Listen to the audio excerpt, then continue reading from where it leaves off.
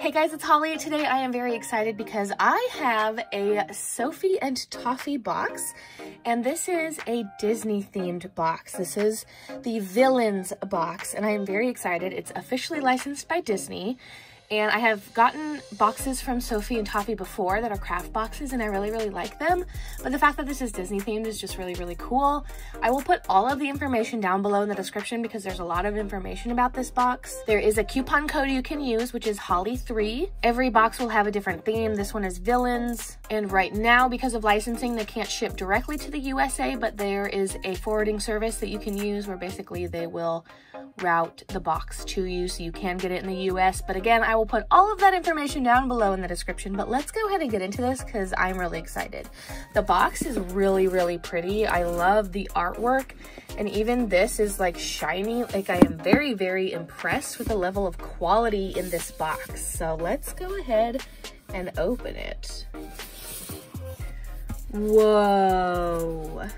It says, meet me on the other side. How cool. I love the artwork. So meet me on the other side.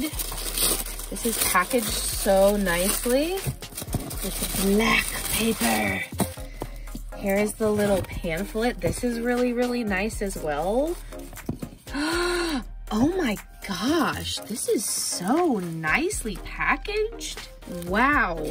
So already I see there is a ton of pigments for resin. I should have mentioned that this is a resin box. There are all sorts of findings down here. We have magnets, we have whatever these clips are called. We have like a little clasp on a keychain. We have ball chains. We have jump rings. We have another type of hook. We have some bails. There is so much good stuff in here.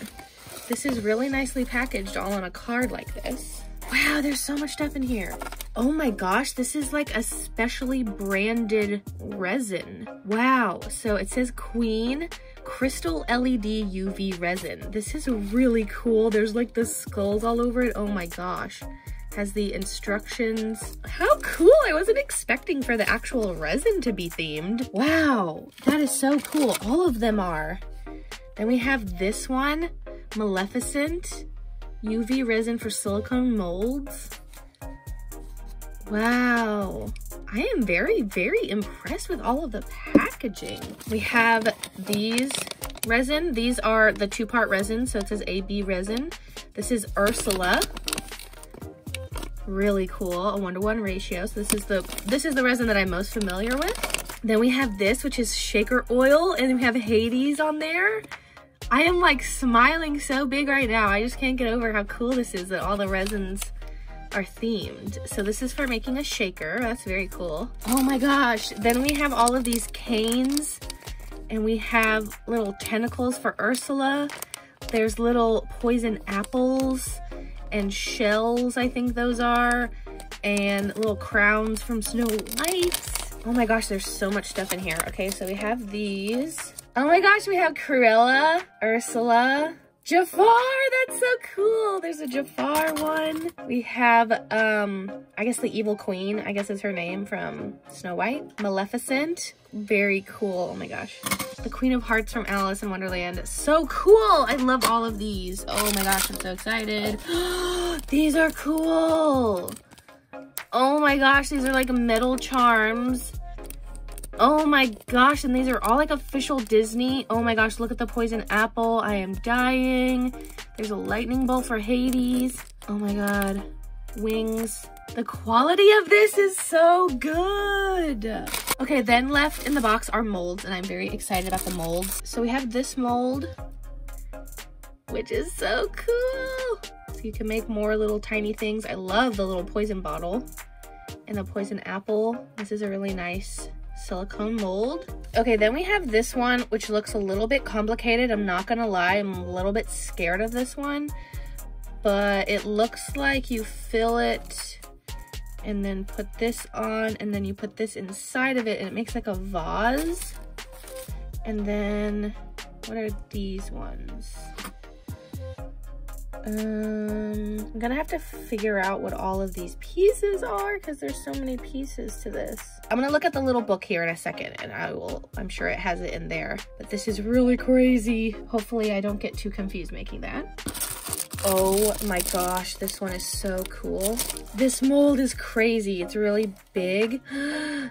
These are so cool. That one is so awesome. I'm so excited to use these.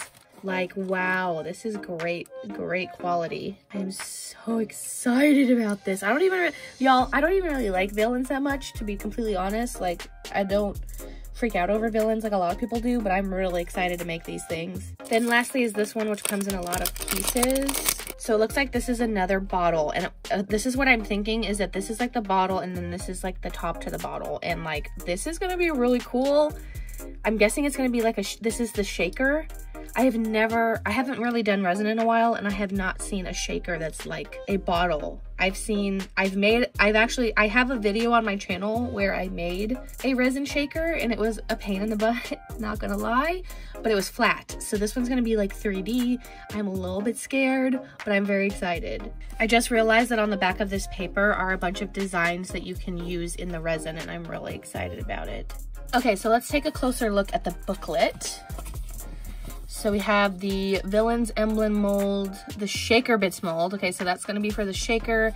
We have a Maleficent potion mold and then an Evil Queen potion mold. So they're little potion bottles. That's so cool. We got the Maleficent resin, the Evil Queen resin, the Ursula two-part resin, and the Hades Shaker oil, the Villains pigment glitter and findings, and then all of the little shaker bits, the bezels, the charms, and the resin film.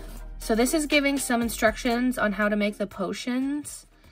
I kind of was hoping there would be like pictures, but I'm assuming we can figure it out based off of this. So last time I used UV resin, I had a really bad um, chemical reaction to it. So I'm just going to be really super extra careful because I really want to do it. So maybe this is a bad idea, but I want to make some cool stuff. And, and if all else fails, I'll just use regular resin and hope for the best because I don't have a reaction to regular resin. I am very, very excited. Okay, so these are my finished pieces. I didn't film me doing them because A, I was really scared that I was going to accidentally touch it and then break out again. So I was trying to be really extra super careful.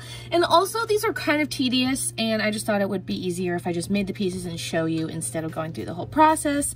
But I'm really happy with how these came out. So the first one I made was this one, and I love this. I mean, of course, it's not absolutely perfect, but I think it's really, really cool. And please excuse my nails. But I think that this came out really cool. The mold is really nice. Please ignore the sides, and then the back is kind of eh. Um, I put one of the little clips that came with the box on the back. Um, but the mold that this was is very like thick and for UV resin, I was just struggling a lot with how thin the layers have to be. I'm used to working with regular resin where the thickness doesn't really matter. So it was just really tedious working with the UV resin. Um, I had to redo this one because somehow the poison apple got messed up and the color behind it leaked into it. But I'm really happy with how this one came out. I think it looks really cool. And then, of course, there is the little bezel one. I decided to do Jafar because I love Jafar. I don't know which side I think is better. I do like this side because it's flat. Um, I did use a piece of tape to kind of make a back and then put the colors on it. But I think it came out pretty cool. I like it a lot. I really like Jafar. And then I put the little finding on it from the box. And then lastly is the potion bottle. Now this one was very difficult. Um, I started using UV resin and then realized that that was a really bad idea because the way that they say to do it is to fill up the mold and then push the little stick in there. And UV resin doesn't work that well with that because UV resin again has to have really thin layers. So I used the two part resin that came in the box and then you put in the little stick and there there's a little tiny channel in there, but it's not super hollow. And there was, I did put the shaker oil in there and it did work for a little bit, but there must be a hole in this because I think all the oil came out. I was trying to sand down the bottom to make it flat so it would stand up and maybe I shaved it down too much. I don't know. It's just very, very nitpicky. Making shaker bottles is not my forte, and I think it's very nitpicky and frustrating. But overall, I mean, I think it looks pretty cool. I did see a tutorial where someone basically, instead of putting the two halves of the mold together and filling it, they basically poured some UV resin in there and kind of moved it around and then and then made the two halves and stuck them together so it's more hollow than this because, yeah, I hope that makes sense. But anyways, I'm pretty happy with how it came out. It looks pretty cool. I think it's much cooler just as a resin piece and not as a shaker bottle. But if you can get it to work, power to you because you can see the glitter in there. It's just that one little sliver in there that's hollow. That's it. So this whole half of it's solid. Those are my pieces. I think they're really cool though. I really like this box. I like that it's Disney. That's so cool. Again, I will put all of the information about this box down below in the description. There is a coupon code, which is Holly3. But again, all of that information is down below in the description. And I have links down there. Make sure you check it out. A big thank you to Sophie and Toffee for sending me this box. Thank you guys so much for watching. And I will talk to you later. Bye.